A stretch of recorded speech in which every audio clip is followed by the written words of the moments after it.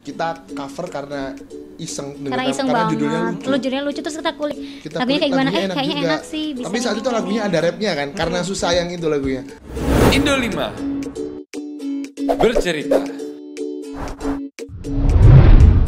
Berbagai macam cerita Dari sudut pandang yang berbeda. Sebelum menonton lebih lanjut, subscribe dulu channel ini. Dan jangan lupa nyalakan loncengnya Kalian tahu Indo 5 Bercerita itu apa?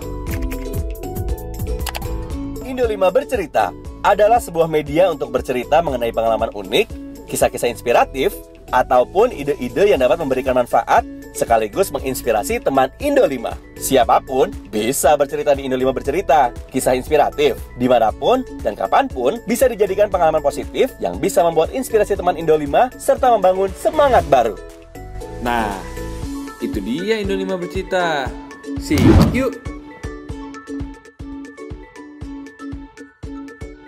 Oke semua teman-teman kali ini Indo 5 bercerita hadir lagi. Kita sedang bersama band yang sangat luar biasa Terkenal sekali dan sudah banyak sekali lagu-lagu yang hits dan dipopulerkan oleh Siapa lagi kalau bukan? Aviu Kila Halo Nah kita mau tanya-tanya seputar tentang Avikila seperti apa sih Nah pertanyaan pertama mbak Kira-kira band Avikila ini sudah berapa lama sih sebenarnya terbentuk Dan seperti apa sih ceritanya kok bisa terbentuk nama Avikila Ah, sebenarnya kalau kita berdua sendiri kita mau mulai apa ya gabung bareng. Maksudnya kita mulai eh, oke kita, kita bikin duo gitu. Sejak tahun 2006 ya. Cep- Kita sebenarnya kenal dari 2006. Kita tuh pacaran 12 pacaran tahun 12 sebelum tahun sebelum nikah.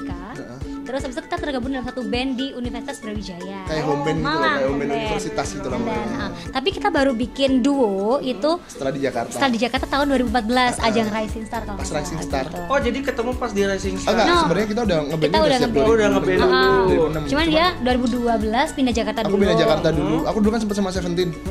Dan aku pindah udah Jakarta dulu sama dia udah nggak nyanyi sama sekali and then 2014 kita iseng-iseng bikin Instagram cover-cover gitu and then dipanggil sama RCTI ya, acara Rising Star itu Ah. 2014 itu awalnya tapi namanya belum Aviuki lah Oh, Masih pakai 15 nama 15 second 15 second. karena cover-cover 15 detik di Instagram. pakai nama Aviuki lah mulai tahun 2015.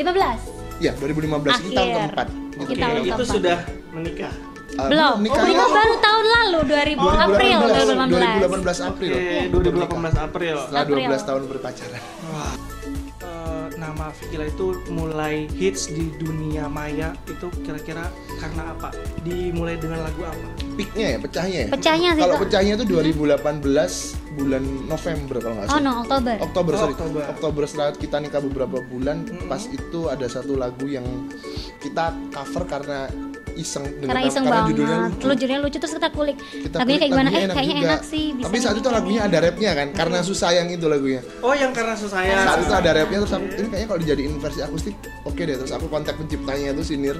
Kontak memang aku bikin tanpa rap, kita bikin versi Ah, kita. ah, kita bikin recycle versi kita. Kita bikin versi live akustiknya, cuma di kamar gitu aja nggak ada nggak ada kepikiran Bener-bener ada niat bakal gimana atau gimana. nggak Jadi kepikiran bakal viral ya kan. Jadi intinya awalnya cuma cover-cover gitu iya, aja. meledaknya ya karena susah yang itu. Oh enggak, awalnya sebenarnya 2014 itu 15 ya kita punya single. Oh iya. Oh, punya single Punya juga. single dulu satu eh, kita waktu itu tergabung di salah satu manajemen di Jakarta kan setelah Racing Star itu kita ada single nama eh, judulnya apa kabar mantan ya Mm-mm. setelah itu eh, kita memutuskan untuk kayaknya kita cover cover dulu deh Singkat cerita karena kita band indie kita nggak nggak tahu harus promo di mana. Iya. Dan yang kita tahu adalah ya biar namanya naik dulu cover dulu.